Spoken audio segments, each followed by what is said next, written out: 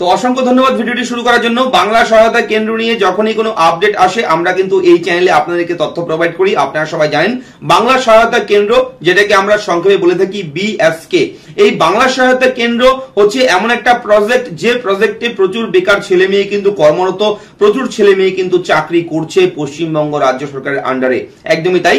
এবং এই বাংলা সহায়তা কেন্দ্রের কাজগুলো হয়তো আপনারা বুঝে গেছেন যে কি কি কাজ, কি কি ডিউটি এর আগেও আমরা প্রচুর ভিডিও আপনাদেরকে প্রোভাইড করেছি।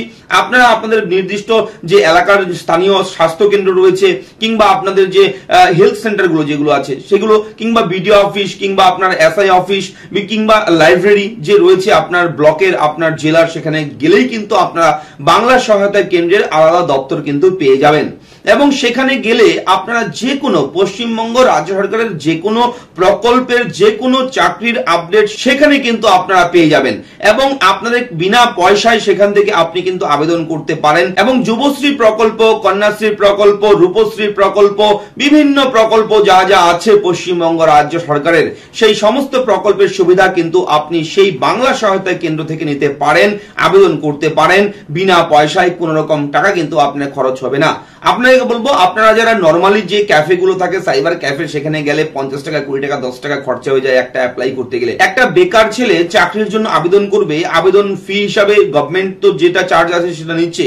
তার পাশাপাশি যদি ক্যাফেই পঞ্চাশ টাকা, একশো টাকা চার্জ নিয়ে নেয় এক্সট্রা তাহলে একটা বেকার ছেলের কিন্তু অনেকটাই চাপ হয়ে যায়। আমি নিজেও যখন চাকরির জন্য আবেদন করতাম অ্যাপ্লাই করার টাকা থাকতো না। ঠিক আছে? অ্যাপ্লাই সব ঠিক আছে, কিন্তু অ্যাপ্লাই করতে হলে যে সাইবার ক্যাফেতে গিয়ে অনলাইনে অ্যাপ্লাই করব, সেই সাইবার ক্যাফেতে আমাকে একশো টাকা দিতে হবে, পঞ্চাশ টাকা দিতে হবে। সেই টাকাটা পর্যন্ত ছিল না। এমন হয়, যখন বেকার থাকে যারা, বেকার তারা বুঝে এই বিষয়গুলো। ঠিক আছে? তো আপনাদেরকে বলব, আপনারা অন্য কোথাও না গিয়ে আপনারা সরাসরি সবাই পশ্চিমবঙ্গ রাজ্য সরকারের যে বাংলা সহায়তা কেন্দ্র আছে, সেখানে যাবেন। তারা কিন্তু আপনার আবেদন হোক যে কোনো ফর্ম ফিল আপ হোক, সেখানে রাজ্য সরকারের যে প্রজেক্টগুলো রয়েছে, সেই রিলেটেড সমস্ত কাজ কিন্তু আপনারা করে দেবে এবং আপনার কাছ থেকে একটা টাকাও কিন্তু তারা চাইবে না। এটা হচ্ছে স্পষ্ট। রাজ্য সরকারের এটা হচ্ছে অফিসিয়াল বিজ্ঞপ্তিতে কিন্তু উল্লেখ রয়েছে। ঠিক আছে? তো আজকে এই ভিডিওটা কেন করছি? অনেক কথা বলছি, অনেকে কথা বলে দাদা বেশি কথা বলো। যাই হোক আমি আজকে এই ভিডিওটা এর জন্যই করছি যে অনেকেই আমাকে পার্সোনালি আমাকে কিছুদিন আগেও জিজ্ঞেস করেছে, দাদা, এই বাংলা সহায়তা কেন্দ্র টেম্পোরারি বেসিস চাকরি? ছ মাস, এক বছর পর চাকরি চলে যাবে। তো এই ধরনের কথা আমি শুনেছি।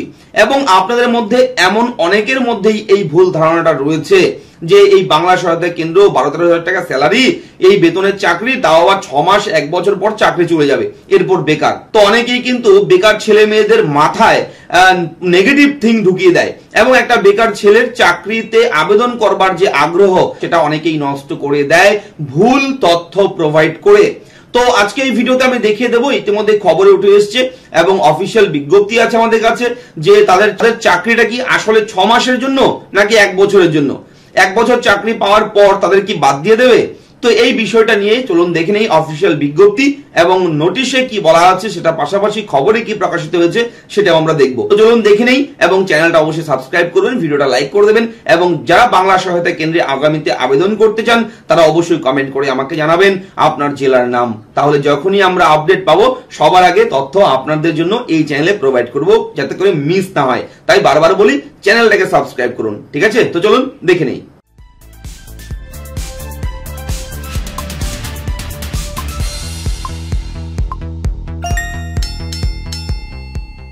তো আপনারা যারা ভিডিওতে দেখছেন, অবশ্যই ভিডিওটাকে লাইক করে দেবেন এবং চ্যানেলটাকে অবশ্যই সাবস্ক্রাইব করবেন ভিডিও নিচে লেখা আছে, লাল রঙের সাবস্ক্রাইব তো আপনারা সরাসরি চলে যাবেন গুগল ডট কম আপনি মোবাইলের মাধ্যমেও কিন্তু এই ওয়েবসাইট ভিজিট করতে পারবেন।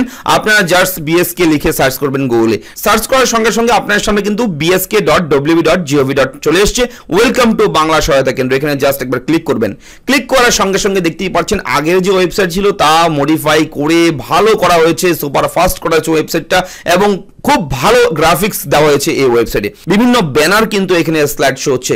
সবুজ সাথী, রূপশ্রী, কন্যাশ্রী খাদ্য সাথী দেখতেই পাচ্ছেন ব্যানারগুলো বাংলা সহায়তা কেন্দ্র এখানে গতিধারা, যুবশ্রী, কৃষক বন্ধু স্বাস্থ্য সাথী বিভিন্ন প্রকল্পের কাজ কিন্তু এই বাংলা সহায়তা কেন্দ্রের মাধ্যমে কিন্তু হচ্ছে।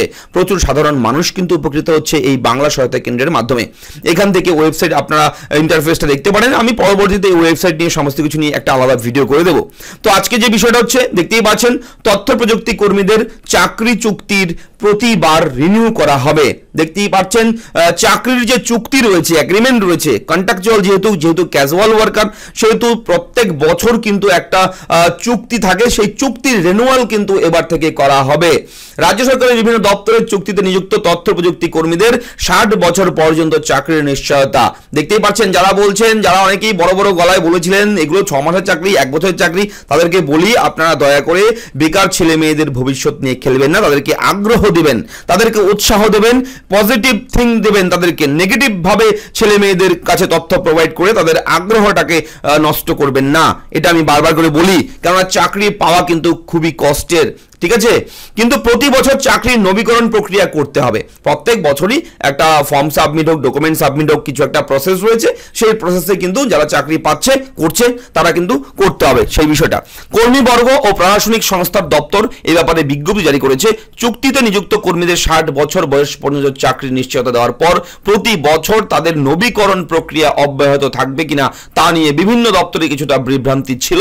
ঠিক আছে? এটা নিয়ে বিভ্রান্তি ছিল, যেটা আমি বলেছি। এবং সেটা দূর করবার জন্য এই বিজ্ঞপ্তি জারি করা হয়েছে।